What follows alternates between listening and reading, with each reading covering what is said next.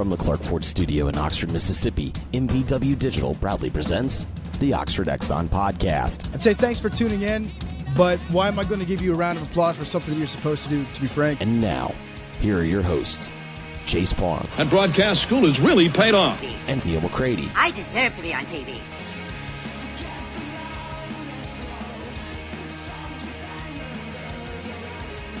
Thursday edition of the Oxford Exxon Podcast. Chase Parham, Neal McCready, Clark Ford Studio this morning.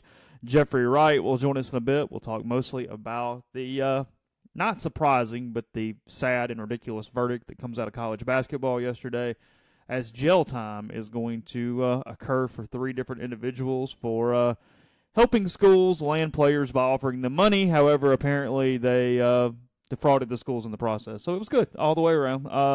A lot of logical, legal things going on in uh, the Northeast. So we'll uh, we'll get into that with Jeffrey here in a bit. We also asked for questions from you for Twitter and the message board since it is a bye week. Ole Miss back in action next Saturday against South Carolina at 11 a.m. Matt Luke video, some other things up on the site at rebelgrove.com this morning. We'll have more coverage, uh, including some baseball this weekend. Ole Miss and Little Rock, two o'clock for that final fall inter squad. Again, 12 innings. They'll clear the scoreboard after six innings, and then play uh, six more. It's free substitution. It's going to look like a nine and ten year old baseball game from that standpoint. No, I do not have a lineup, but we will uh, have some semblance of uh, of coverage of that. So Do you have a hot board ready to go? in case they lose to the uh, Trojans on, uh, aren't they the Trojans? Yeah. Little Rock's Trojans. Yeah. If you lose on October I've the covered basketball at that arena in Little Rock. Quit trying to change the subject. It- Uh-huh. if they lose on October the 20 something, it's over. And you got to have a hot board ready to go. Really? Absolutely. Okay. Nevertheless, two out of three to Wright State to open the 2019 season. Uh, all right. Oxford Krystal today. They uh, bringing back the maple bourbon shake. So if you'd like that, if it had any bourbon in it, I might be really, really interested right now. Is it too early? I'm a milkshake guy though. It was it's it's never too early. I mean, NCAA day it was not too early. So I mean, you know, it's fine. I was on like number four by then. But um, we will uh. anyway, sorry. Maple bourbon, bourbon shake at the Oxford Krystal. Stop in, get it. Maybe pair it with those and cheese bites. You can make your own combo there if you so choose. Next door at the Oxford Exxon, Speed Pass Plus out, mobile rewards, plenty of ways to save money or make sure they take care of your tailgate for Carolina next week. Got racks of ribs, pulled pork, quart size sides, and much more. And again, coming to you from the Clark Ford studio. We are. Clark Ford is in Amory, Mississippi, 662 257 1900. Call the number, ask for Corey Clark. Tell Corey what new Ford you're looking for. He'll send you a quote within 15 minutes in business hours. It's that simple. It's right to the bottom line. There's no haggling. It's just a great deal. You get great service after the sale.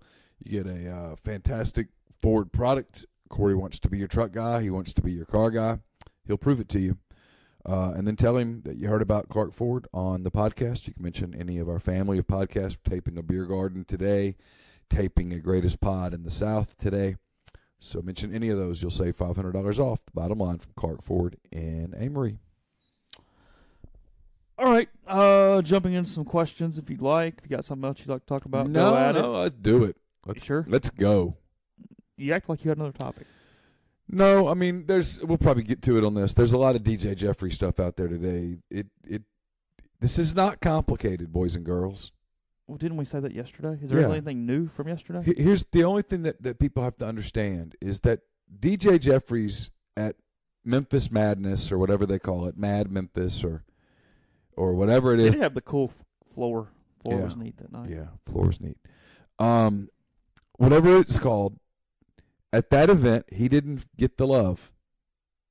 Somebody else got the love. James Wiseman got the love, and he got his feelings hurt. It's okay. He's a kid. I say this all the time. He's happens to be a kid who can run fast and jump high and dunk a ball, but he's still a kid. He's 17. Most of you have either once been 17 or you're on your way to 17. Some of you are like me and you live with a 17 year old. They're moody, just like you were at 17. Now, the difference is all these schools are recruiting you and stuff like that. What's all that's happened in this deal is, and let me phrase this carefully, and for those of you who have the ability to kind of read between the lines, you'll know what I'm saying, and those who can't, I'm sorry. Um, as it's become more possible, if not likely, that James Wiseman is going to take his basketball talents elsewhere, whether to Lexington or Nashville. Uh, Penny Hardaway and the staff at Memphis has had to turn its attention to other targets, and that means DJ Jeffries. And on Sunday, DJ Jeffries was shown the love. He does have a long lasting long term relationship with Penny. He's played for his AAU team in the past. There is a relationship there. They know each other. The family knows Hardaway. The dad is active on Memphis radio. His ego is actively involved. And um, that's just, it's all stacked up. And Mississippi State for whatever reason or reasons, sort of pulled off in this recruiting quest. This is going to sound like it has more of a negative connotation than I really mean for it to do.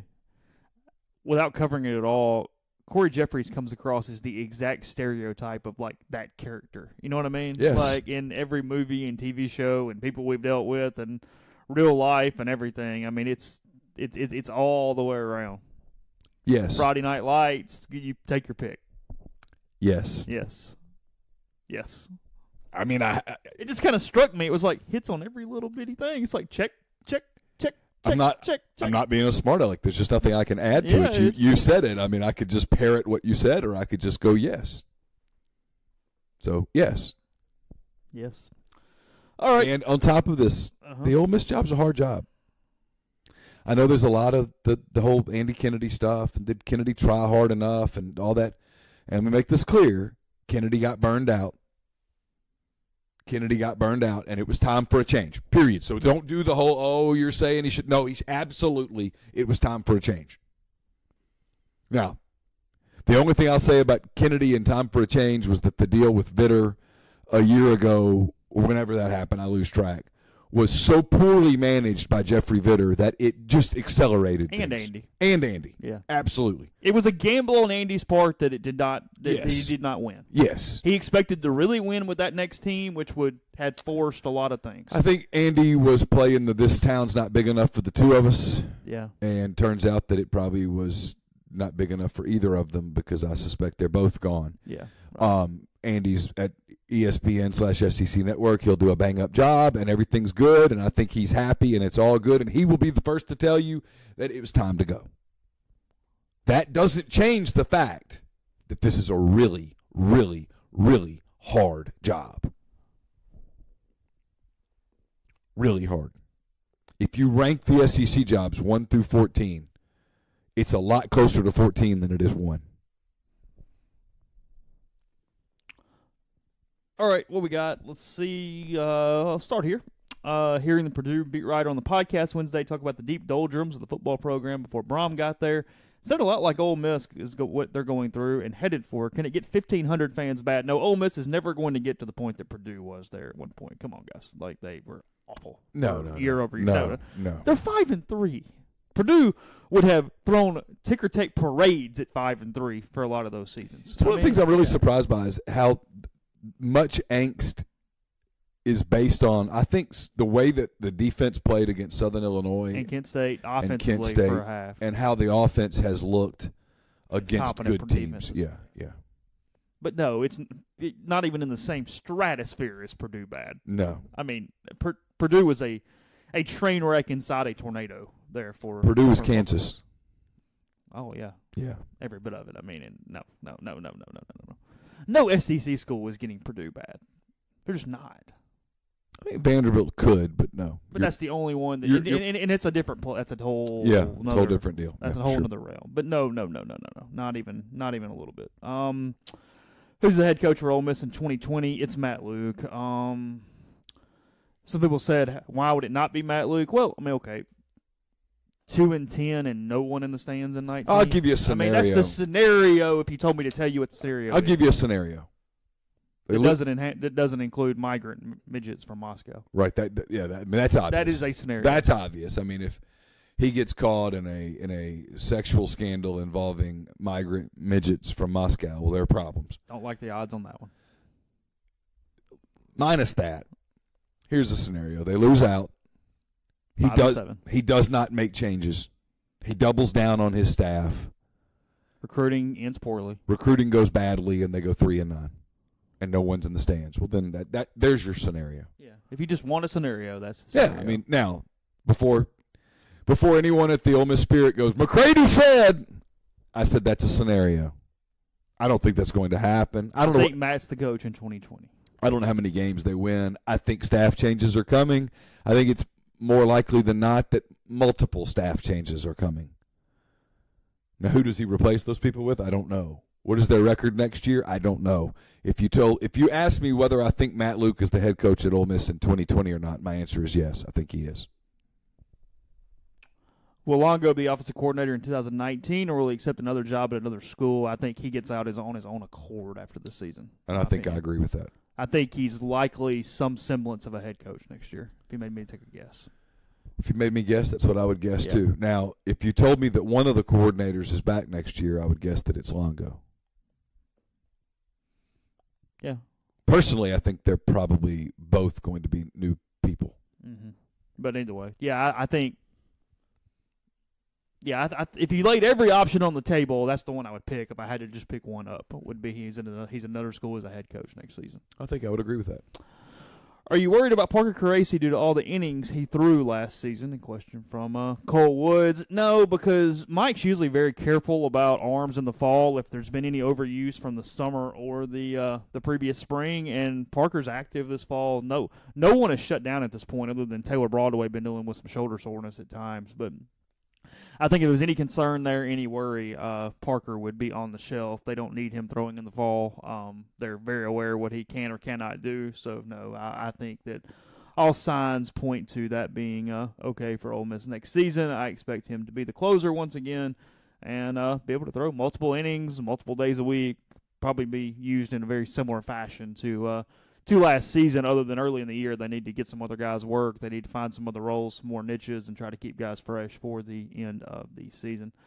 From Marine Reb, uh, what is your theory as to why Vitter wants us to have a bottom rung football program? Well, he doesn't. Um, no chancellor wants Ole Miss to struggle at football. Um, no chancellor, president, or athletic director at any school would like their football program to struggle. That's not. I mean, that's not even logical. Um, does Vitter appear to? I say appear. I don't know. I don't know him. He refuses to come on the podcast. Um, I don't necessarily blame him, frankly, but um, He's probably running out of time to come on. as yeah, I think we'd have to get things going pretty quickly at this point to uh, to get that visit done, uh, based on what I hear. But um, no, I mean, come on. Do I think he's influenced by some people at times? Yes, there's no doubt. I, I think there's there's a lot of that involved. I think he's in a bubble. I, I think he surrounds himself by a a a, a, Man, a I'm bubble. craving tacos all of a sudden. It's weird. I'm sorry. Are you really? Yeah, out of the blue. Soft or hard shell? I'm a hard shell guy. Are you really? Yeah, You don't like soft shell tacos? I like soft shell tacos. I just I like a crunch. Do you? Yeah, You like those like Doritos tacos or anything, or just got to be pretty basic? I've never had those. I've had one. I wasn't a fan. Just give me the regular. I, I'm I'm not big on like Taco Bell. I like going and get. I like that taco shop in Oxford, and Yeah. those are soft shell. Soft. yeah. Those are great. Really Okay. good. Chicken or beef? Both. No, no favorite. Uh, I like the pork. Okay. Um, I like the chicken. Mm-hmm. I like the steak. I like the ground beef. There's another. Uh, uh, I can't remember the, the name. It's more the authentic Mexican. It's fantastic. Really, really good. Okay. Good enough. Would you like to add anything there? Or would you like me to move on? Oh no, I just I don't know what happened to make me start thinking about Taco Bell. I know. Would you like to add anything, or would you like to move on? Uh, are you asking whether I think Vitter's going to move on? Is that what you're saying? Oh, oh, you. Do The I question: want? Would you like to Oh, yeah. elaborate in any? No, no, I'm I'm ready to move on. I think that's You're doing a lot of just letting letting it move on right now. You're kind of just sitting back over there, just saying. I, I think you're doing a hell of a job running the show, and I'm I'm kind of letting you. Um, of course, the defense has a talent problem, but has anyone with football knowledge weighed in on McGriff's scheme, Mr. McCready? Uh, I have sent out uh, some emails to some people who are football scheme people asking this very question. So when I get those answers, I'll I'll bring them to you. I don't know enough about pure scheme to know. Here's what I'm told from people who know what they're talking about. They're not very good pre-snap, which is coaching. They have a hard time getting to the right place, which is talent. That's what I'm told. The pre snap stuff is coaching, the ability to get there is talent. There appears to be deficiencies in both categories. I did think Russell had a pretty good observation when he was at our live show a few weeks ago, where he talked about McGriff has always been known as a very good recruiter. He was a very good recruiter in 2012 when he was here as a position coach, and being a coordinator puts so much extra onus on you, and, and especially with this team and the way you've got to really, really manage things right now. It does probably create some deficiencies in your ability and time to recruit, which so then you've got kind of this lesser version of two things versus something that Wesley's been very, very good at throughout his career. Here's an analogy. If I tell you you can go to a restaurant that serves one thing, but it's exceptional, or you can go to a restaurant that serves 10 things and it's all just kind of average, you're going to choose? You're picking the one thing and getting the steak or the whatever it is every time. Yeah. You go to the taco shop, you order tacos. If you go to the Cheesecake Factory, you go, oh my. Yeah. Pick a page and order from that page, and you know it's just going to be It's gonna, blah. it's gonna be a six Maybe. on a good day. Yeah. That's my point. Yeah. You Go feel you feel much better when you walk into a restaurant and there was four menu items, six you go to menu a, items. a renowned barbecue place, right? What are you getting? Barbecue. You don't go to the renowned barbecue place and go, "Hey, you, you guys got any chicken fingers back in there?" What's? hey, I was wondering, can I get a hot dog? it's why you don't really get mad at the server at Rendezvous when he's kind of a jerk to the people that don't order just what you're supposed to order. Yeah. Come in. Their, Or, their servers are fairly rude if you're Yes. like, well, what about the pork show? You know, like Yeah, uh, get the sausage plate and the ribs. Get the beans and the slaw and, and a pitcher of beer and shut up.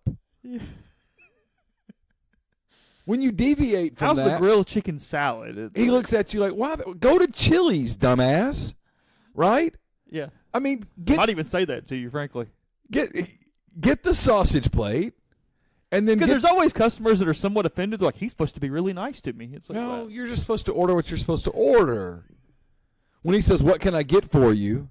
he more means half a slab or a full slab. Yeah. slab. Or do you want two slabs? Do you want me to bring out Would you like the barbecue nachos or would you like the sausage and cheese plate? right?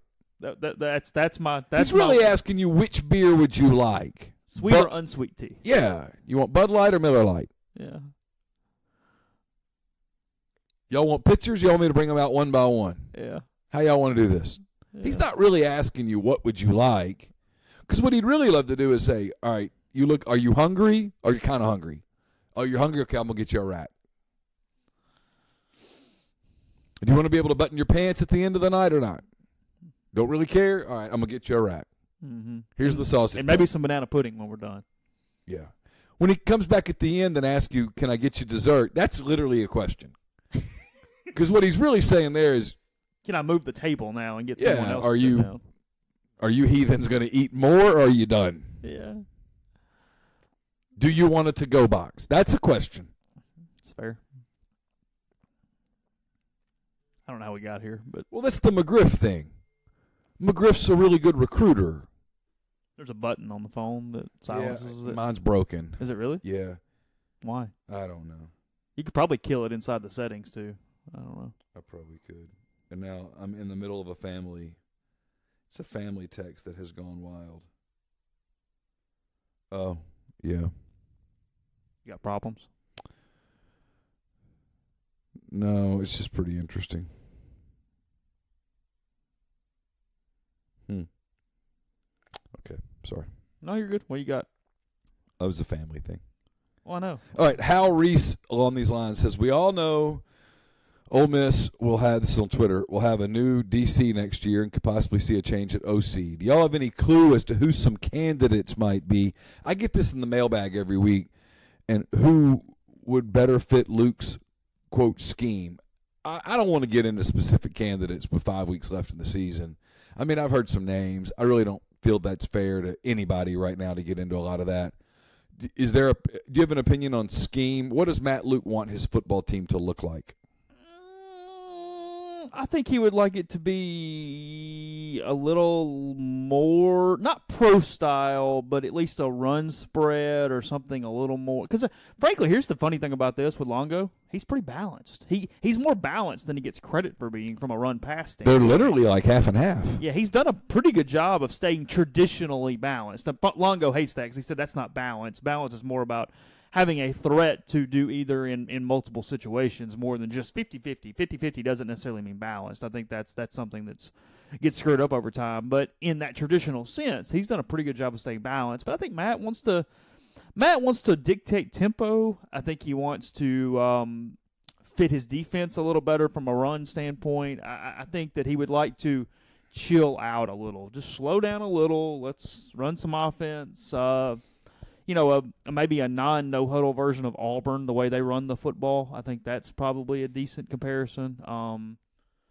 a little more, a little more big play oriented, but a, somewhat of kind of what South Carolina tries to do if they had the talent to do it all the way over there. Something along those lines. And I'm not, I mean, I know that brings a Roper and a, and a Werner thing back into it. That really wasn't where I was going there. I just meant looking at teams in the SEC. Those are the two that stick out as far as what, in my opinion, Matt probably would like to do if he just had his complete druthers. Booster number 12 wants to know it's a fair question. Would McGriff be experiencing the same heat he is now if the recruiting class had several blue chip defensive players in it? That's a fair question. Mm, no. Uh, I think you would go, hey, all this is on. We love our guys, but all this is mostly on talent. We see there's issues. We like some of these freshmen. They're going to get better as time goes on, and hey, these dudes are coming. Um, there's to be some heat because I mean it's it's so bad at times, but um, you know the other thing too, and it, we're, we're guilty of this a little bit. Now, look, I'm not, I'm not defending this defense. It's it's bad. It's really bad. We do get hung up on total yardage too much when they're on the field for 100 plays. Yards per play is a whole lot better of an indicator from an Ole Miss defensive standpoint because, frankly, they're just out there constantly. They're going to give up more total yards than the average defense strictly based off how much they're on the field versus their opponent. Well, and given, I have talked about this, given their lack of depth, the offensive system that they run doesn't make sense. Go fast, fast, fast, fast, fast. yeah, it's throw, a bad marriage. Throw them back about out there. It's a terrible marriage. Yeah. It's the. I don't know. I started to make a really bad analogy. Um, Real quick before we do that, yeah. we'll uh, we'll come back to this in a second. Let's go to, go to Jeffrey in one minute. Before we do that, I'll tell you the podcast brought to you in part by Community Mortgage, Oxford, Memphis, Soto County, and Chattanooga. Underwriting and processing is done in Memphis. You're getting local underwriting and understands your market. A leader in condo financing and the float down option. So contact Jason at 662-234-2704 or J Lowe. That's J L O W E at communitymtg.com. Meagan Phillips with LAH Real Estate is the person to call for all your real estate needs in the Birmingham area. With almost a decade of experience, Meagan's knowledge and expertise can help you buy or sell your home today. So visit her website, meaganmphillips.com. That's M E A G A N M Phillips.com or call Meagan at 205 602 7929. Podcast also brought to you by Oxford University Bank. Excuse me, OUB, locally owned and operated right here in Oxford. When you deposit money at OUB, that money and the vast majority of the bank's profits go right back into the Oxford community. OUB is offering one year CDs at 1.75% annual percentage yield, three year triple option CDs paying 2.01% APY. With the three year term, customers can deposit once during the term, withdraw once during the term, and or bump the rate if OUB's three year rate rises. To learn more about OUB, check out liveoxfordbankoxford.com or call 662-234-6668. OUB is FDIC insured. Podcast also brought to you by Harry Alexander. Harry is an Oxford-based Remax Legacy Realty agent. He's been in Oxford more than four decades. No one knows the residential and condo market in Oxford better than Harry. Go to his site. He'll prove it to you. HarryAlexander.com. Click on the Properties and Neighborhoods tab, filter through by what you're looking for, and then send him an email. It's ha at harryalexander.com. And we're brought to you by Grenada Nissan. If you're in the market for a Nissan vehicle, Grenada Nissan, located just off Interstate 55 in Grenada, Mississippi, is the place to go. Gene and Sandy Grass uh, run Grenada Nissan. They do a great job. I've been a customer for more than 10 years. Uh, they've been friends of this site, of this podcast for um, since we've been doing it. They're fantastic people. Um, don't go visit them just for us. Go visit them because they will take great care of you. You'll get a great product, phenomenal service, a quick, efficient service, service that cares about you as a customer. You'll be thrilled to be driving a, a Nissan, Grenada Nissan vehicle. It's GrenadaNissanUSA.com. Now, Jeffrey Wright on the Oxford Exxon podcast. Jeffrey, good morning. I'm sure your day will be filled with plenty of basketball talk coming off the uh, the verdicts in the case yesterday. I have to, uh, you know, from a from a legal standpoint, it's been nothing short of fascinating. But jury of your peers, certainly not a jury of their peers, a jury of people with heads in the clouds that do not understand any semblance of how this thing works. Because in the closing arguments or whatever made the argument that had the schools known about all this, they wouldn't they wouldn't have even given the scholarships out. That takes a lot of presumption, and somehow the jury completely bought it. Does anyone understand the importance of language quite like a lawyer? Because making sure that you know what what does a jury of one's own peers mean? Like like that's what I do enjoy about law, and that's what initially fascinated about me. And then I talked to like lawyers and they're like, hey, whatever you do, the argument aspect of it is very interesting to me. But I think what I think what the larger point is I bet it wasn't that difficult to find 12 people. Like I bet this was I bet this was the question they asked during when they were doing the selection process. Do you know who John Calipari is? And if the answer was yes, they dismissed everyone. And if the answer was no, you, they started digging a little deeper. And so that that was what it is. And I think it just shows that, you know, even even people in our region of the world, they kind of think they know what's going on, but you know, I think there are a lot of people that were really like, wait, does this really happen like this? And it's like, yeah, that's Yeah. exactly how it happens. But I think the other fascinating aspect about this is that this judge, I believe his name was Kaplan, he did not allow a lot of testimony that involved showing coach involvement. Now, someone that's a much better legal mind and you know someone that has gone beyond taking the LSAT could probably tell you why. My understanding is that it had it did not specifically have to do with this case. So he did not allow it. So what I think could be more fascinating is the court cases against the assistant coaches because you know, are they going to go down with the ship?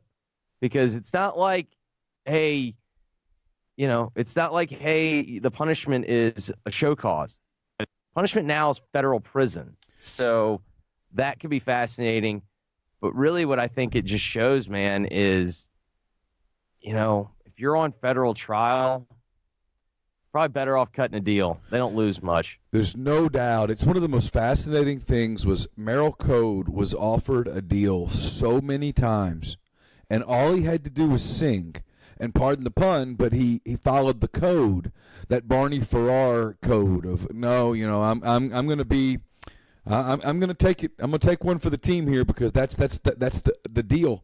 When the feds come to you, and they've got you, cut a deal now. So if I'm Chuck Person and, and these guys that are about to be, is, is it Chuck? Yeah, yeah, yeah. Yes. If I'm these people that are about to be on trial, I'm calling my lawyer today and going, all right, what can we do? Well, because what's interesting about this to me was Michael McCann from Sports Illustrated, the legal guy that always writes these kind of stories. We, we, we've had him on the show. He's Yeah. a good dude. He's the he's the first one to kind of lay out exactly how the prosecution made their case as far as the universities being the the, the, the people that were fraud, fraudulent against or whatever. Because it says defrauded. Yeah, right. It says while the coach may gain from the enrollment of a superior player, the university provided the same player a full athletic scholarship and financial aid under a false pretense. Along those lines, the university and its admissions office staff purportedly believed the player was eligible to play under NCAA rules when in fact he was not. The university then lost control of its finite financial assets, namely athletic scholarships and financial aid packages. Further, by enrolling such a player, the school became at risk of punishment under NCAA amateurism rules. Likewise, prosecutors argued there was an intent to harm these schools. Certain Adidas employees, agents, coaches, and family members of the schools knowingly conspired to facilitate the enrollment of paid off student athletes to the school, was the argument they actually made. And to Jeffrey's point, they found 12 people who would believe that. Yeah. And we talk about this all the time. Jeffrey and I had this conversation yesterday, uh, obviously off the air. The Super Bowl is unquestionably the biggest sporting event in the United States. No, no one, no one's arguing that. The Super Bowl is is Tiger on the 18th on a Sunday at, at television event of the year. yeah, it's period. And two thirds of the country don't watch the Super Bowl because what we do, what we all do, what we do for a living, and because we live with our phones in our hands on Twitter, we think, or it's easy to forget, I should say, that there's the overwhelming majority of the masses that you see out there. They're not hanging on every score. They're, they're, they're not obsessed with sports. They- They're not keeping up with college basketball. College basketball is a fringe sport 11 and a half months out of the year. Yes. And I think that is, to me, that's kind of the overarching point because even though we understand that those universities weren't defrauded, in fact, they got rich off of this system and they were, I mean, for the lack of a better word, I mean, they're, I mean, they were completely complicit in this process. There's maybe a don't ask, don't tell, and there's a plausible deniability aspect of it. But it's not like Louisville was going, whoa, let's hold on, guys. We we don't we are we sure these guys are eligible? Are we one hundred percent sure? Because I need everyone in this room to tell me these guys are eligible. Okay, good. Well, because that's what's hilarious about this that I, I guess Gary And Parrish by is making fun not- of. It, not to leave Kansas out of this. Yeah, I mean, you know, I'm just they found eight women and four men to take this sentence seriously. If the universities had known about the defendant's secret payments, they would have never issued those scholarships. Chase, there are people who subscribe to sites like ours who know who know the score but refuse to accept it. Well, Neal, not hold take. up, not- hold up, time out, yeah. time out, time out. I love them to death, and I'm about to do the I love them, but I I cannot fathom that if Jay Tate, I want Jay Tate and I want Gabe on Truth Serum. That's exactly where I was going right now. I- yes. Explain this to me, guys. you do agree that this is happening in college basketball. College football makes about 70 times the amount of money that college basketball does. And you're telling me that you all agree that this is a business and that you think this is happening in basketball, but it's not happening in football?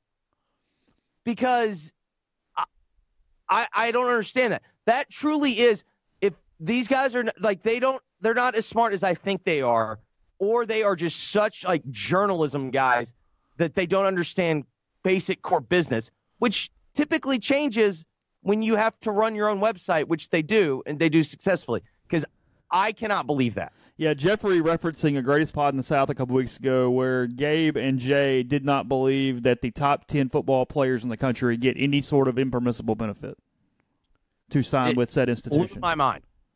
And and and and here's the part where I argue with them. If what you're if if everything is a box of cash, okay. When you see kids move, when you see kids move across the country, their families move across the country to get jobs and such. That's a benefit. Boosters arrange that. And the boosters arrange that so that tho- those kids would go to a certain school. It's pay for play. Absolutely. And by the way, I'm not morally opposed to it. If you if you want to oh, bring Well, I'm morally for it. All right, if you want to bring, I don't know, say an offensive lineman who just happens to be from Florida's tackle to Oxford, Mississippi, because that's going to give you a better chance to win football games, and they want to do it, by all means. But let's get serious. If that kid couldn't play football, you would have no interest in moving him and paying the amount of money that you want to spend to get that kid and his family in Oxford to be able to watch him play football.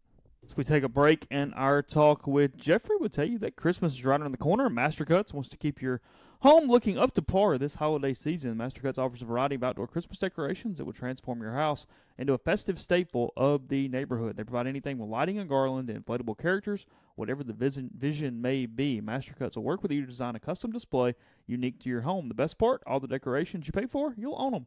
Mastercuts will keep and store the decorations until they're ready to go the next year or give them to you to keep. The option is yours. Start a tradition your family will cherish for years to come. Call Mastercuts to schedule a free quote at 662 607 7773. Podcast also brought to you in part by John Edwards of Regency Travel Incorporated in Memphis. You've been thinking about that golf trip with the guys you'll never forget, maybe that anniversary trip she'll never forget. Uh, maybe you've dreamed of playing at St. Andrews or sitting at a cafe in Paris, whatever it might be. Get in touch with John Edwards before you try to do it by yourself. Why use John? Well, he's part of Virtuoso. It's a worldwide network of travel partners that allows John to supply his clients with added values, unique benefits that are simply not available to other travelers. John traveled the globe for 37 years before getting into the travel business, so he knows the extra attention that is needed to make a special trip one that creates a lifetime of unique memories. So if you're thinking about going with the boys to Pebble Beach or taking her to Napa for the vacation of her dreams, call John, give him some parameters and a budget, and let him know some. He'll give you some options. Know this: you don't have to live in or near Memphis to take advantage of his services. You just need an internet connection. Call John 901 494 3387 or send him an email at jedwards at regencytravel.net. First time clients can save $50 off their first booked trip just by telling John you heard about Regency Travel on the podcast. Now back to Jeffrey Wright on the Oxford Exxon podcast. Well, let's just say hypothetically there's a quarterback in, I don't know, Honolulu? Honolulu. That's a good example. All right. And way away. the family decides to move with the quarterback, who happens, Uh-huh. in this case, hypothetically, has a little brother who's also a really good quarterback. Okay. Hypothetically, decides to move to I don't know the southeastern part of the United States. Okay. What's How that? about what's that move cost to pack up? Let's let's say they had a 2,500 square foot home. What's it cost to pack that up, cars and all, and move it to I don't know Savannah? What's that cost? What are we talking? I'm guessing hundreds of thousands of dollars. I don't think that's the moving cost, but yeah. What do you think the moving cost is? 50? 75? Think it's that much? It's Well, probably I'm- pretty I'm- high. I'm You've got to buy the house. You've got to Oh, you mean new like jobs. buying the- Oh I- yeah, I, No, Neal simply mean just getting the property across. I meant the literally ocean. just moving everything. Oh, 10 hell, grand? Heck, if I know. I oh, it's mean, I more don't than know. that. It cost would us ten grand to move our grand, stuff from right? Mobile to here. You got ripped off, but okay. Uh, I mean, I don't know, twenty five tops. I mean, well, it's you got to ship your cars. well, yeah, I'm not counting that. Okay, fair enough. Yeah, that's what I'm saying. You got you're putting you're putting everything You're on a plane. Cars on a boat Cars or included. Cars on a plane. One yeah, because. Jeffrey, you've done this, right? Well, yeah, but I got to put it on a truck because I moved from one state to another inside the continental Yeah. 48. I mean, I guess it's conceivable they put them on a boat. Yeah, yeah. I mean, whatever. Hey, I don't know how that works. My point is, it's expensive. Yeah, This hypothetical family, of course. yeah. Yes, in in 2011 to ship a GMC Yukon from LA to Memphis or vice versa, it was about $1200. Okay, fair enough. My point is, is it's an There expensive no proposition for a family to make that move. Yes. It all comes down to the same like and like that's my whole deal. Where the Pattersons living these days? They moved I a couple of times. somewhere very close to Ann Arbor. Do you know Chase? No, I have no idea. None. I mean, because they made the move from Shreveport to down to the coast. They moved around. Five stars get paid. They all get paid. I don't have a problem with it. They get paid. Four stars get paid. Yeah, of course. Leo Lewis got paid like six times. Kids, yeah, I mean, But there there is a naivete that's out there that so it's it does not when people say, Can you believe a jury? I'm like, Yeah, I absolutely can believe it. There's a service that will get your car from Honolulu to L.A. for eight hundred and seventy dollars. Okay, well then it's another twelve hundred. So two, three grand. Two grand a car. Yeah, Probably had two or three cars. yeah, ten grand. Yeah, Your whole moves. you- you- Well, in fairness, they might have had cars waiting on them. See, that's the thing. I, I doubt they actually ship cars over here. If you want to be, hypothetically, of course. yeah, whoever they is that we were referencing. Still, buying a car has got to be more expensive. But I'll say this: Yeah.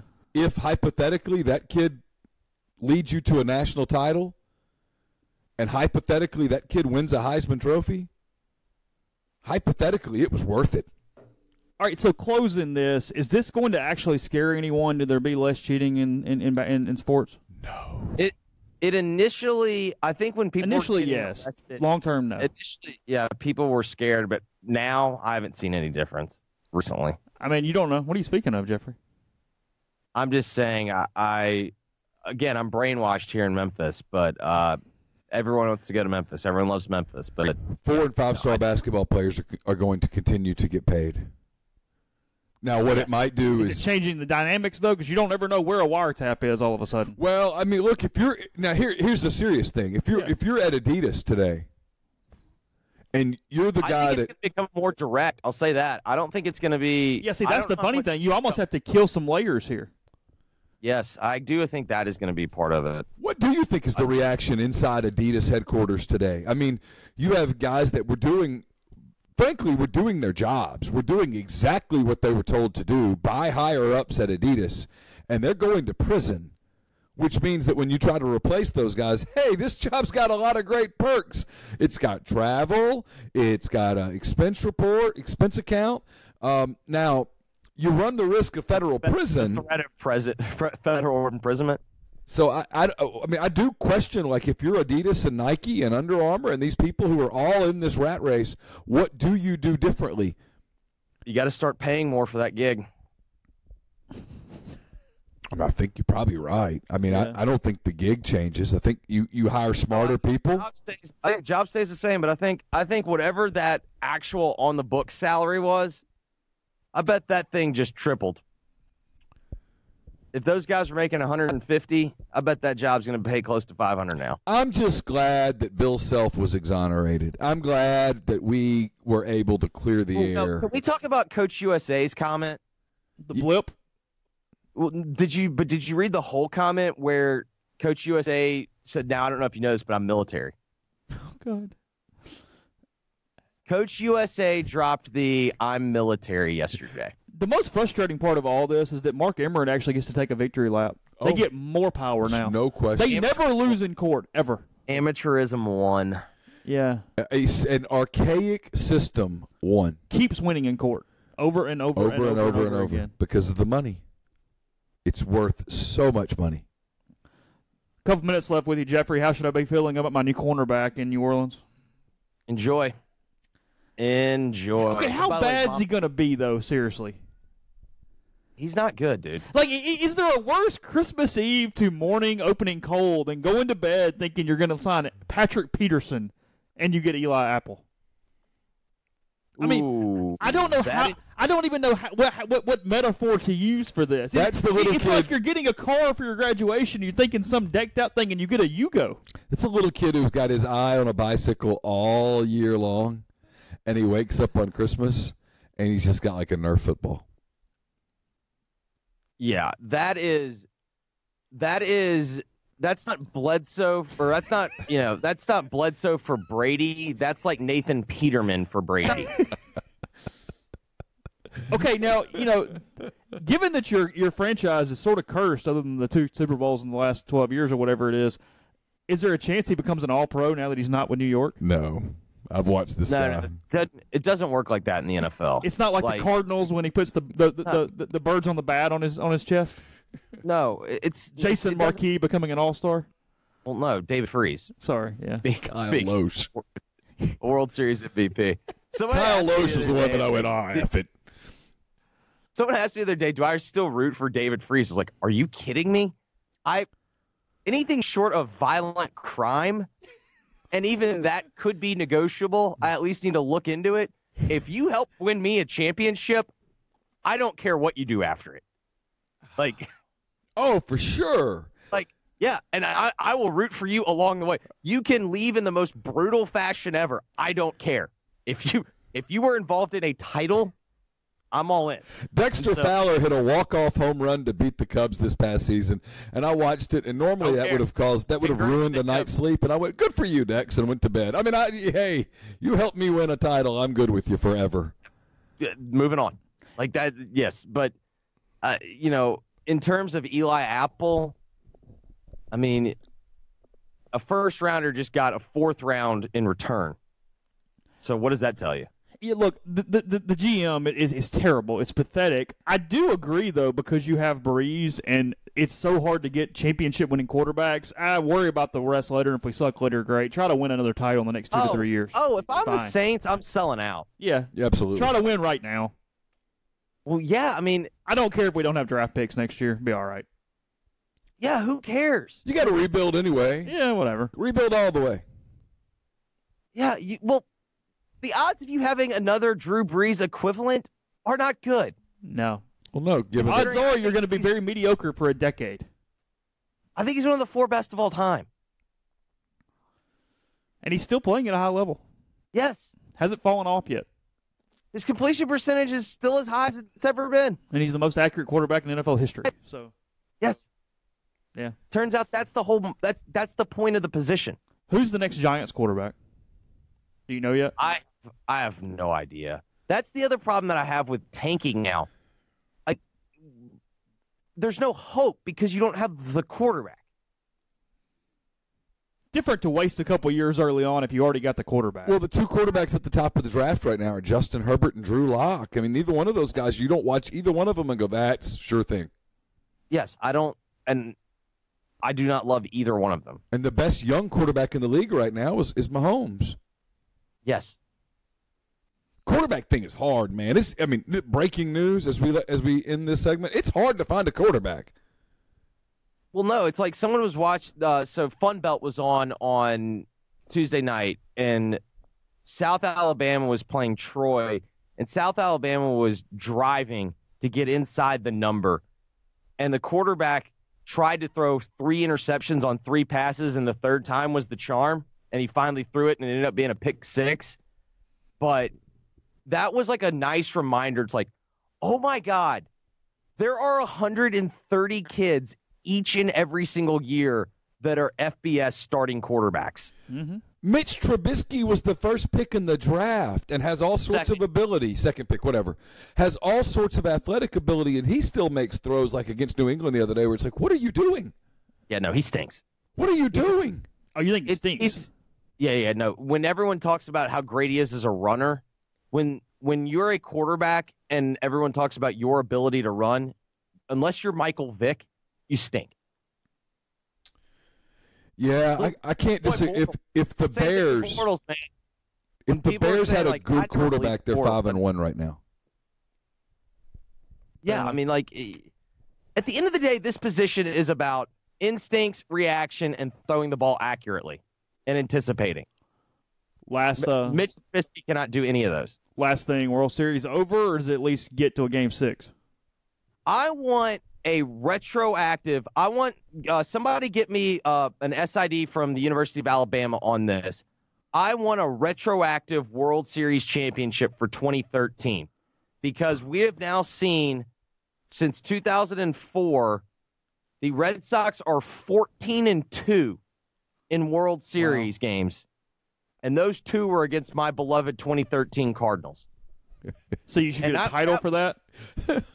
Well, no one else can beat them. So you want a first flight championship is what you want. No, I want a You- retroactive. You want some pro shop credit for, a for winning a couple games. I, I want a relative to par. No, it's not. It's not first flight. I just want strokes. it's a handicap title. Yes. We deserve it. Damn it. I hear you. Who's on the show? I'm sure it's basketball related. The whole thing. Yeah. Well, because Mark got hurt last night too. So we're Oh, yeah. Yeah. Ooh, So we got to go deal with that. you need Corey Jeffries on just to perk up spirits then this morning, don't you? Uh, Jason and John, I'm sure will have him sometime from 11 to 2. All right. Talk soon. Thanks to Jeffrey for joining us. All as always, if you haven't done so, go get that flu shot. Temperatures dropping, rain outside today. Gin and Pharmacy on South Lamar in Oxford offers walk-in services for flu shots. They accept most major insurance providers free if you have one of those. If not, twenty-five dollars still to take care of yourself with a flu shot there at G&M Pharmacy. They deliver the prescriptions local in the Oxford area and are located on South Lamar. Join the Westin Jackson for their inaugural event. It's called the Festival of Trees. It's a community wide event.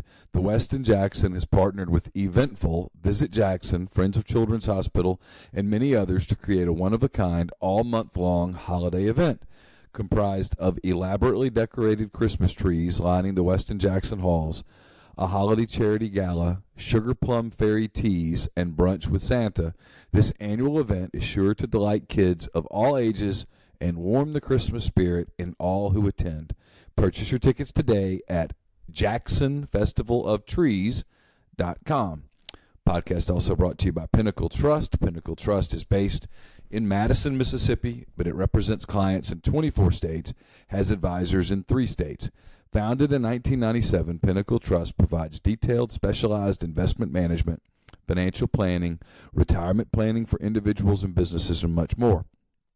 At Pinnacle Trust, investing is treated like a commodity and decisions are made using objective information and research, not emotions. Regardless of your level of wealth, Pinnacle Trust will sit down with you, listen to your goals, study your expenses, and put forth a comprehensive, detailed financial and retirement plan. Cookie cutter financial planners put you in a box. At Pinnacle Trust, a box is built just for you. To learn more about Pinnacle Trust, go to pintrust.com. That's P I N N trust.com.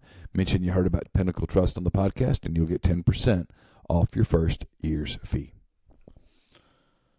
Okay, let's see. Um, are you reading from the message board or are you reading from Twitter? Where are you? I was on Twitter. I was letting you do the message board. Oh, I see. I didn't even been on the message board yet. Oh, well, then I'll go to the message board. Hold on. We'll just start from the bottom. Let's see. Started from the bottom, now we're here. That's what I hear. Started Um, from the bottom, now the whole team's here. Is that a thing? I don't know, man. That would make a good song. Ole Miss opens their 2021 basketball campaign in the pavilion. Okay, so 2021. That's a couple years away. How many four and five stars are in the starting lineup, Mr. McCready? What year? Uh, 2021. Um, was Hinson a four star? Dude. Okay. Um, I'll say no fives. Well, 2021. One five star. What's the cutoff for a five star in basketball? I'm How not sure. I'll say there's one five star and two or three four stars. Really? Yeah. Okay. I think Sean Robinson's a going to play at Ole Miss. Blake Hinson is a four star. Okay. Hinson's a four star. Uh, what did the junior Hinson was 105. Uh, what did the junior college guard did they sign? Did he get a fourth star? what's his name? Um, um, uh, Williams. I can't remember, man. I'm sorry, my brain's fried today. Yeah, not my area. Either way, we got your answer, so it's fine. Ooh, you've covered a lot of college football here. We'll make this not Ole Miss or anything. Who's the worst college football coach you've ever seen coach? The worst college football coach I ever saw coach. Yeah. Ooh. I mean, I get there's like an OOL 2006 Ed Orgeron joke in here, but I mean, I'm not making fun of Orgeron anymore. yeah. well, the Um, joke's different from 18 to 7. Yeah. Ooh. Uh, What do you got? I mean, I'm sure the answer is some obscure team that came into Auburn or Ole Miss or something and, And just, got, look like crap. And, and just got absolutely handed. Uh, there were a couple of Gerry DiNardo teams at the end that were pretty poorly coached. Ooh, yeah. Um,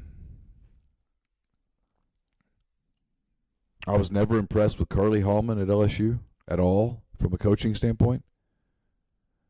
Um,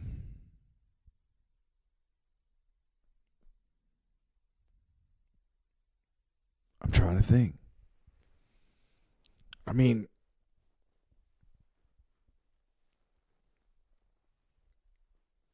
God, man, I don't know. Um,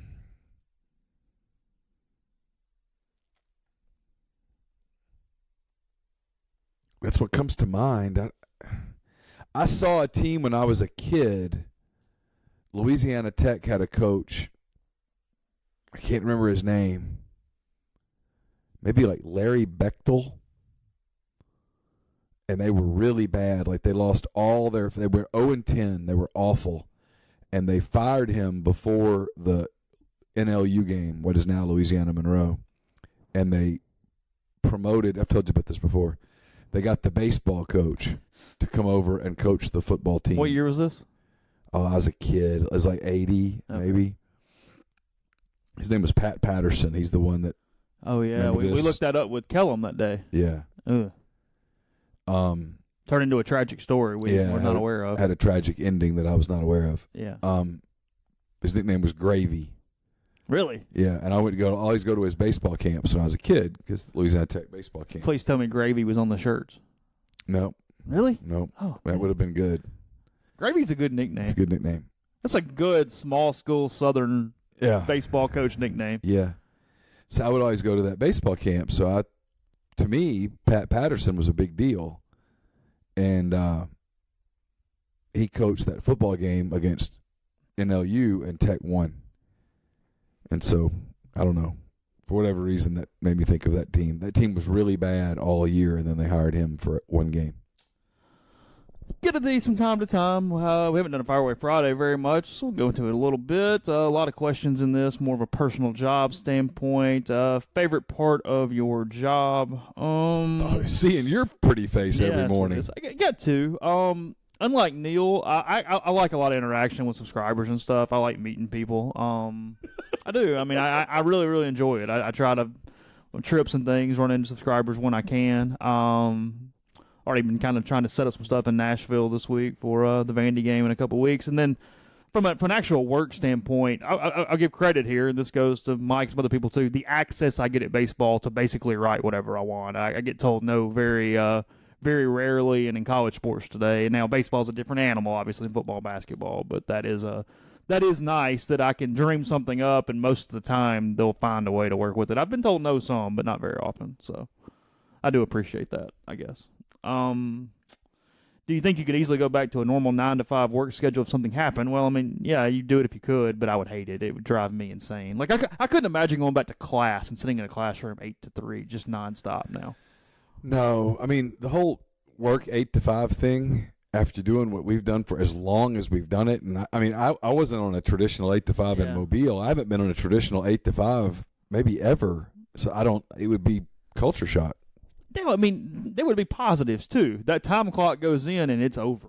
Yeah, sure. I mean, to some level, we're kind of like doctors. You're always on call to some extent. I mean, you never know what could happen at any moment. I mean, you it's always like kind of need your phone on I posted this on the message board. I had to yell at Russell Saturday. Get off your phone. to quit. Yeah, Get off your phone. Stop working yeah. Because you just get into that work. And work social work. meat has made it so much worse. Oh yeah, it's just it just you just can't can't put it down. I mean, you probably in some ways dream for the newspaper days of when the deadline hit. It's done. There's nothing you can do to change the paper the next day. There was a certain high to that. Yeah, you hit publish and that's it. Well, I mean, I went home from football. Like now, guys on our job go home from a football game or back to their hotel or whatever, and they work all night. Mm-hmm. I never did that. It's over. When I left Jordan Harris, Eleven fifteen's eleven fifteen. when I left Jordan Harris, the Auburn beat writer or wherever I was, You're done till the next night. I was done till the next day. There was nothing I could. I mean, you could tell me a story at two in the morning. Hey Neal, guess what? Nothing you can do. Uh, nothing much I can do about it. I'm not getting it in the paper. For 12 hours, you're kind of just chilling. Yeah. I have a website. Uh, all right, continuing here. I'll read the question. I don't know what I'll, how I'm going to exactly say here. How successful have you guys really been? That probably based off your perspective as much as anything. Um, what fueled that? What made you guys confident enough to branch into podcasts and other stuff that pushed uh pushed that don't mind failing. Uh, I think it's a lot of it. I mean, we try a lot of stuff. Some stuff works, some stuff don't. You throw some stuff to the to the cutting room floor. I mean, we've told the story a thousand times. I mean, the podcast started as just a hey, what if? I mean, Neal had an extensive radio background. And we said once a week, let's just talk and see where it goes based off our morning conversations that we had every morning. And suddenly people get interested, credit got involved, it becomes daily, and it just just kind of grows. And it, it stayed consistent enough to where, I mean, I, I get kind of sentimental and sappy at times with you guys, but in all honesty, it's the numbers stay so consistent that they baffle me a lot of times. I mean, the numbers stay within just a thousand one way or the other, which is which is incredible because we have a lot of thousands. Um, every single day. So it's uh, It's a good humble brag. I mean, it's true though. I mean, there's a there's a difference. You go, well, we have 2,200 listeners. It stays within a thousand both ways. But I mean, you know, it, it's it's on up there pretty considerable. And when so, it's it, it's it's kind of impressive. Yeah, uh, we're, we're over 2,200. we're over 2,200. We we started. I, I went back and looked because I I tried to play our first podcast we ever did. Oh, on God. One day, and the, the the host site they still list them, but I couldn't play it. It wouldn't work. It wouldn't let me do it That's probably a blessing. it was when it would give you the little music and it would go talk shoe recorded live ding and then after Yeah. ding you could go in and start talking and uh, I think the first week it was like thirteen hundred and forty listens or something for the weekly one on the on the very first yeah, one, that's probably about right. and then it just kind of went up and went up, and you went, well, maybe okay, let's Yeah. see where this thing, uh, see when this thing is. Um, to answer the question of how successful has it been, I'll answer this honestly. It's changed our Uh, lives. it's changed our lives. I wouldn't be here without it. I would have Yeah. moved on to something else. I, Chase probably would have too. yeah, it's it's I know I would have. I, I, I, I'm not going to get specific, yeah yeah. but I absolutely know that I would have moved on.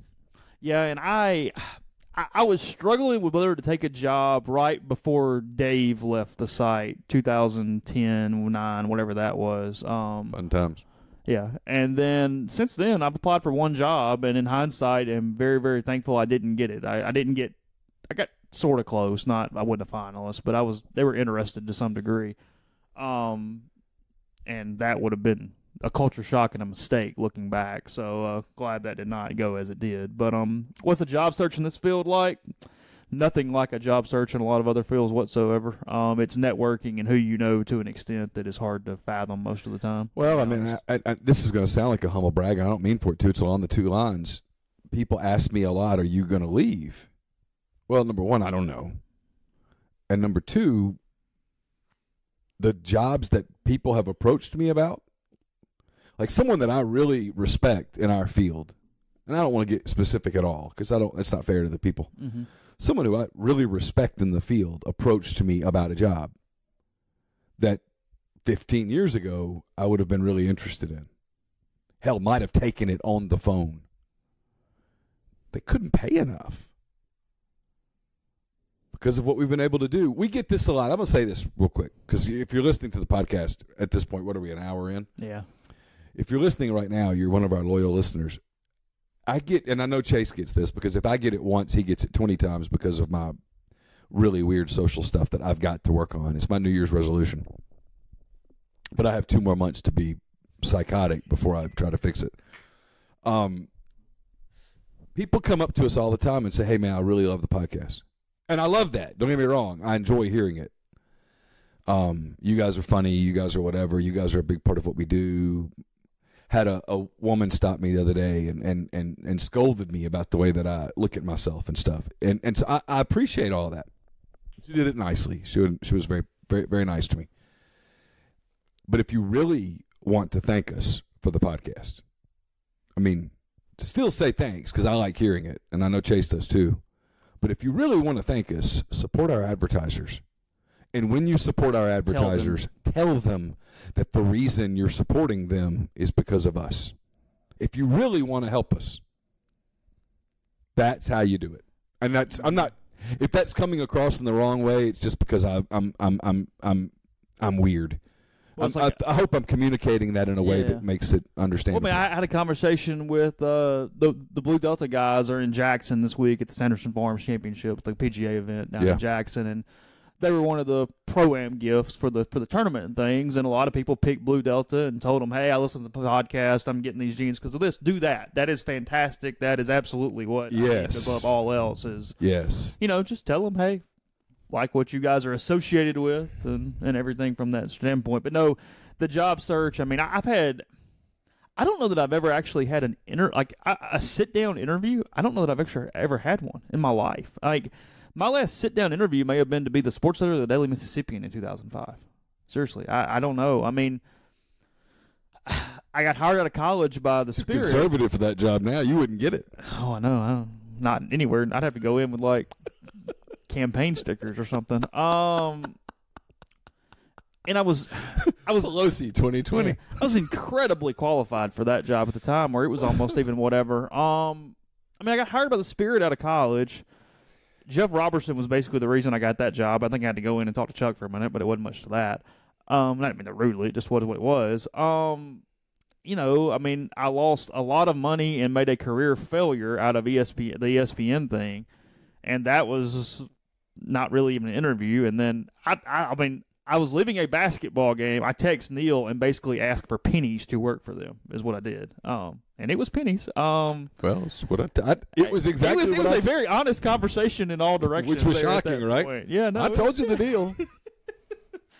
And uh, I said if you can have some patience, this it has a chance. But if you have no patience, it's not going to work. yeah, kind of took a flyer a little bit, and then it just every year was seemingly a little better than the year previous. Is kind of how it worked there for for a little while with a couple big uh big jumps and You can't say I wasn't honest with you. No, no, it was just uh I mean because I mean I was contemplating to some degree even kind of getting out of the business maybe to some extent at that time. 'Cause there was a junior uh, college that was talking to you about like doing Yeah, stuff. that'd have been a disaster. Um at the time. Um yeah, I mean like I said I've so it just it just kind of happened and it worked and we've been able to to build like I said I've applied for one job, I've had one job sort of offered and neither one just couldn't couldn't do what this all the way around has been able to do right now between site and uh and podcasts. The, so. the thing I tell young journalists all the time that always ask, "How do you? What what advice do you have?" It's when you're young, be willing to work for next to nothing,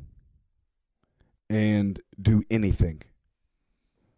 Do anything. We get you can't we and uh, we can't tell you how many people c- approach us annually and say, "Hey, can I cover football?" Well, no. But if somebody would come to us and go, "Hey, could I be your volleyball beat writer?" Yeah, sure. hmm Am I going to pay you? No, I'm not going to pay you. But you're going to get clips. You're going to get links or whatever it is now. And my old school vernacular, that would be clips because you literally clip out the story. Well, I mean, you know, look at our look at look, look at our intern pass. I mean, Brett's doing a good job of football for us one day a week right now, and that's going to be a clip from Yahoo or Rivals or Verizon or however you want to put that. That's on a Oath, that's on- Chase. The what? Oath. Oath. Sorry, that's right. That's on a uh, that's on a resume. I mean, we've had several turn it into things. I mean, we were simply a pit stop for Chandler because she was well That's above not our. true. She, if it weren't for us, she's working at Kmart right now. She basically called, like it was funny. I, I sat down with her the first time, and she was like, "I'm going into news. I'm doing news. I've already got these 25 job offers. I just want to get a little bit of sports to say I did it." And I'm like, "Okay, good Yeah. enough." Because like you looked at her resume and went, no, "I don't get this one very often. this is not one that I'm that I'm real accustomed to here." So, yeah, Yeah, I always just like messing with her. I'd be like, "Yeah, you're so lucky. You spent some time with us." Well, I, got, I think I told one of our ones right after it was like, "You're following Bear Bryant right now." So this is this, uh, you know, sorry. she was exceptional. Yeah. Uh, I like this question, actually, because I have an interesting answer to it. How differently is trajectory of women's football if Hugh Freeze had decided Chad Kelly wasn't the right type of kid for his program and not sign him to be the starting quarterback in 2015? I know it's been said in the past that Chad being the quarterback masked a lot of warts that Freeze and the football program had. It's probably obvious to say winning the Sugar Bowl doesn't happen, which may have then allowed Ross Stewart to fire Freeze after the 16 draft night, which then may have ended the NCAA fiasco altogether. Did Freeze have a plan B in case he didn't land Chad, or would there have been just road with DeVante Kincade and Ryan Buchanan? Okay, a couple parts here. First one, yeah, they wouldn't have won in 15. The 15 class, in some ways, then is considered, or sorry, the 13 class finishing in 15 is in somewhat considered a failure at that point without the Sugar Bowl. They have the one Access Bowl, they lose to TCU, but you don't have the second win over Alabama. You know what I mean? Like, there's Yeah. a lot there where I think that changes the entire legacy of that class that right now has a f- fairly pristine legacy if you take out just some some some minutia. Um, otherwise, Neal may disagree because of the freeze draft night thing, but I'm going to say nothing because Oh yeah, I disagree. Freeze is still going to get fired probably after 16 if he doesn't get fired for NCAA reasons before that. But otherwise, from an on-field standpoint, he's getting he's, either the stuff's coming out or he's getting fired after 16. Okay, but back up one second. Okay. Back up a second, because I'm, I'm not sure that I'm following your train of thought, which might be because I'm slow no, and old. ahead. You're fine. So what you're saying, Chase, is that if Chad Kelly had gone to Indiana and Ryan Buchanan and DeVante Kincade in some combination Or whatever 15. wa- wa- the quarterback in 15, that team went 10 and 3. It did, yeah.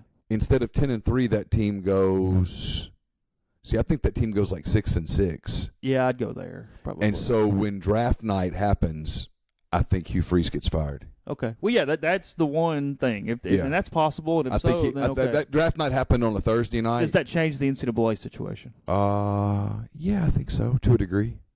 Okay. Yeah, I think so. Who's the coach? If he gets fired on draft night.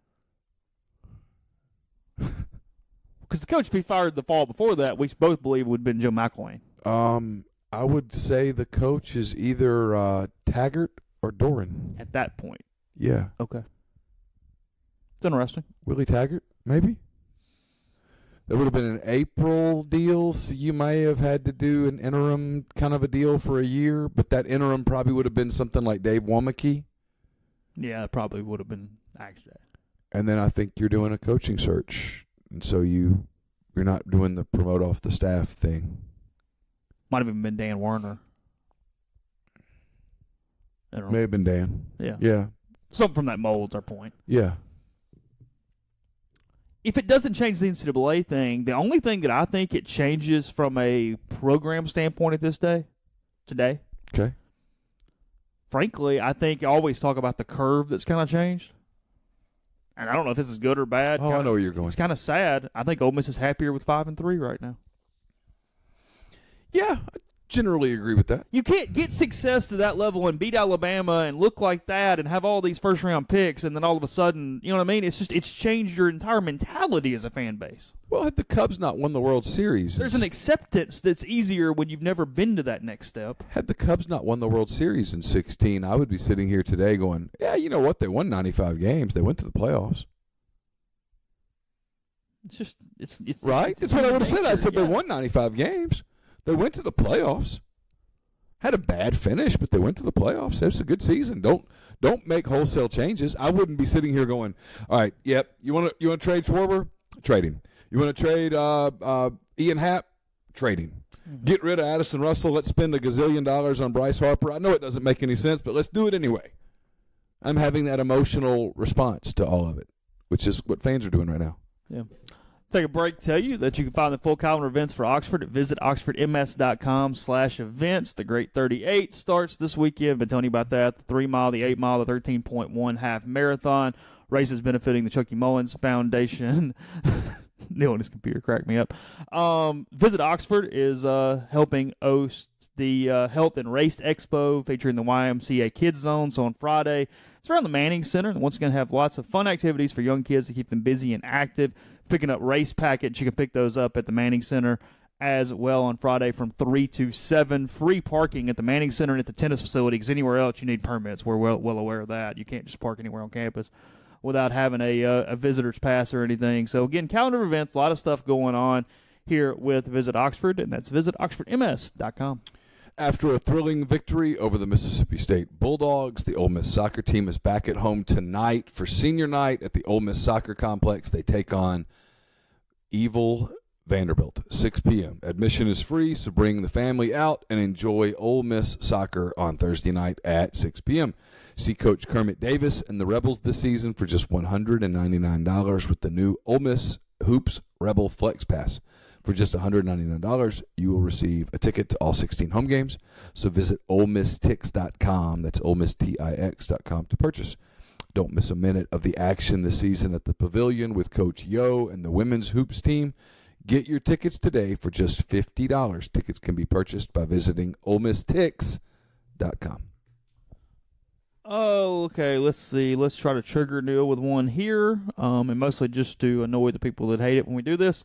How can you assume Apollo beat Rocky in the rematch fight when the only fighter they both fought uh, killed Apollo, and Rocky went toe to toe with the Russian and won.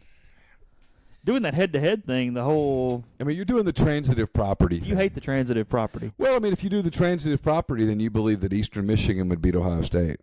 That's true. Look, Apollo by the end had aged. Okay? Maybe some CTE had kicked in. He was in the middle of an affair. He had he he he was. He had an illegitimate child on the way. There was a lot going on when he got knocked out by Drago and killed in Vegas that day. Okay? You've got to be able to put that beside you, behind you, and look at Apollo Creed shortly after he had been dancing on the beach with Rocky Balboa in Santa Monica, I believe, and then helped Balboa knock out Klang, uh, Lang in the third round. When they went and had that fight, Rocky had just had a fight. He probably was coming down from the post fight high. And Creed, very privately, had been doing all of the training with Balboa. Rocky had no idea that while Creed was training, he had an ulterior motive. And that was to get him back in the ring shortly thereafter for the rematch that no one saw. That's why this all went down the way that it did. Everybody wants to make this something that it wasn't. Creed, being the genius that he was, Creed knew if he trained with Balboa the whole time, he would know what the weaknesses were. He would get him to a certain place. He would teach him most everything, but not everything. He would know exactly how to take Balboa down and be in the best shape of his life for it. Yeah. Um. Sorry, got really So- distracted. something happened? Something. I'll take it later. Okay. Um. Holy crap! Well, sorry, sorry, people. I've got to shut up. Um. Yeah, that won't stir anything. I'll tell you in a minute. Um. People can lose their mind. Yeah, I know because I like it. I've stared at my screen for a second there. I saw Uh, you. you. Your eyes got big. It did. Sure. I mean, look, whatever. Um, Apollo in his prime was better than Rocky in his prime. It's it's not close. It's not close. Not even. Balboa was all grit. He had a great chin. Great chin, and he had a great heart. I mean, took shots. and he was a diplomat. And a But he was not Creed in his prime. You could have easily done like the Arnold Schwarzenegger thing here, where like Rocky and one of the like the Creeds was like the mayor of Philadelphia, couldn't you? Yeah. Like at some point, yeah. like Rocky Five, instead of him going broke, could have just been the mayor of Philadelphia. Could have been the president of the United States. Crazier things. Like Rocky Five's actually a campaign race, Yeah. Yeah.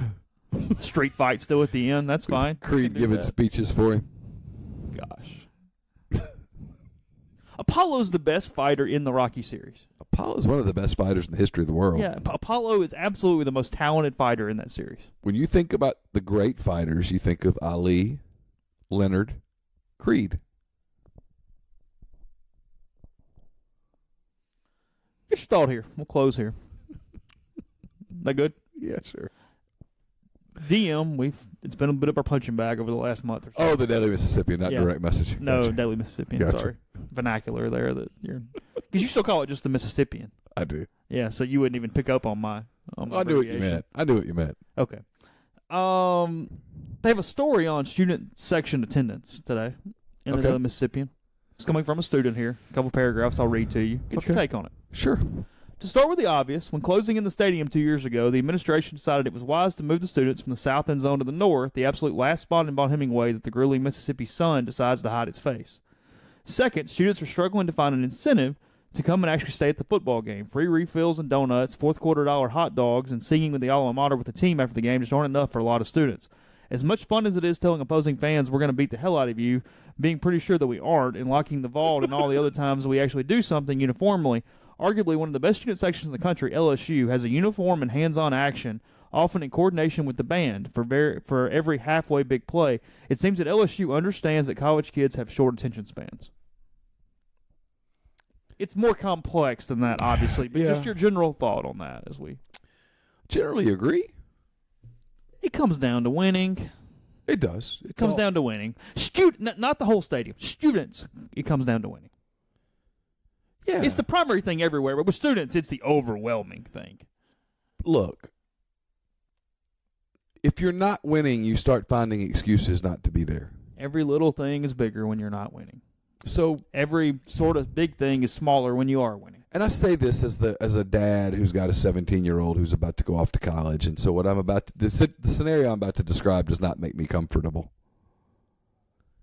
You're a college boy, and you're out. You have a date, and she looks really good, and she's really pretty, and she's at the game with you, and it's hundred degrees at one o'clock in the afternoon, and she says to you, "Can we go get something to drink? Can we go?" if your team's losing 27 to 3, yeah, yeah, let's go. Not winning here. Might as well go make a day better somewhere else, right? Yeah, of course. If if your team's winning and it's exciting, she probably doesn't really want to leave either. And so when you're not winning, you just find excuses to leave. And the truth about the Grove is you can't, on one hand, brag about the Grove the way that Ole Miss brags about the Grove. And I'm not saying that they shouldn't brag about the Grove. But you can't brag about the Grove and market the Grove and put the Grove in Southern Living and all of that stuff and talk about how we have the greatest tailgating and all that stuff. And when ESPN game day comes, they open up with, here's a look at the Grove.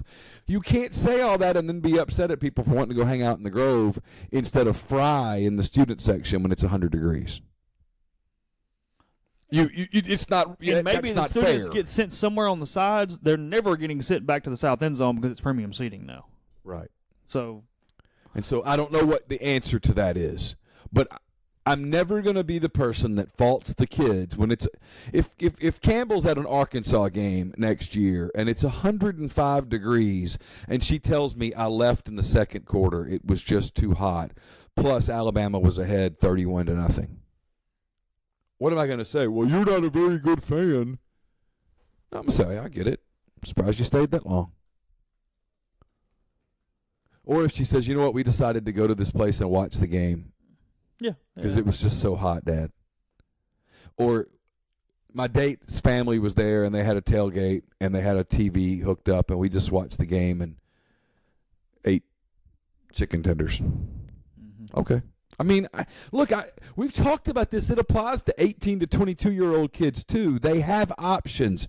You have to make it an event. You have to find ways to make these games events. LSU. This was funny about that thread the other day about LSU. LSU has lots of corporate parts of their thing. I mean, it, it more Yeah. than they get credit for being. Tons. But they have a great band. It's a big stadium that, do. when they're winning, stays pretty full. And frankly, and this isn't about Ole Miss. This is about ninety nine percent of the fan bases in the country. It's cool to participate at LSU. Yeah. They go with the band on every choreographed thing. They're doing the Chinese bandits and they're doing the whole deal, and it's a thing. I'll go one further with what you just said. You're exactly right. Yeah. At Ole Miss and at a lot of schools like Ole Miss, it's not cool to have fun. It's not cool to dance with the band. At LSU, they've got that huge band that's really, really good. They have traditions. You talked about this the other day. If you take away from LSU the Tiger and calling Baton Rouge before the game, and you take away the third down thing that they do with the Chinese bandit thing, Yeah, the bowing and all that yeah, stuff. if you take all that away, well, then a lot of people are going to be at the game and like, where am I? Uh-huh. But instead, you But have instead, even as a visitor, I know exactly when LSU is going to do everything Uh-huh. they do. I can time it myself. I've seen it. yeah, and it's cool, it's fun, and the band's up there with them, and they all participate, and you're part, of, like you said, you're part of a group. Yeah. And so when they come over after the game and they tell you, you guys helped us win this game, it's not empty. Mm-hmm. It's different. I don't know. I they don't get all gussied up down there for a football game either. They just go. They wear a t-shirt. It's hot as hell. They wear a t-shirt and a jersey or whatever, and they go to the games and they have fun and they've had a few all day long and they have a good time. I don't know. It's a different deal. I don't know the answer to all these questions. I what I can tell you, Ole Miss isn't the only one struggling. I mean, hell, Nick Saban's mad about it at Alabama. I mean, he's mad because goes ki- all the way. kids are leaving there. Yeah. you know, I mean, They're bored the other way. you know, uh, I know at Arkansas they've had attendance issues Awful. all season. Um, Auburn's been empty. Auburn's been empty. I noticed at the Auburn Tennessee game how empty it looked on television. Yeah. Um, I mean, it's look, it's this is a challenge for everybody, and for Ole Miss, there are some unique challenges that, frank, frankly, just a fluffy shark would solve the majority of them. Gosh. All right, on that note, we are done with today's show. Check out rebelgrove.com. Again, Matt Luke video, some other stuff, some baseball stuff. I'll have some stuff later today as well. So Probably no podcast tomorrow. Yeah, we haven't made a final decision, but that's kind of where we are, especially since we did a whatever we want to call this question. Throw it at us Thursday. Throw it at us Thursday. Is that what it is? Yep. Okay. I like alliteration a lot, so I'm good with that. We'll talk to you uh, next time, whenever that time may be. And again, check rebelgrove.com. Yes, we have a website in the process.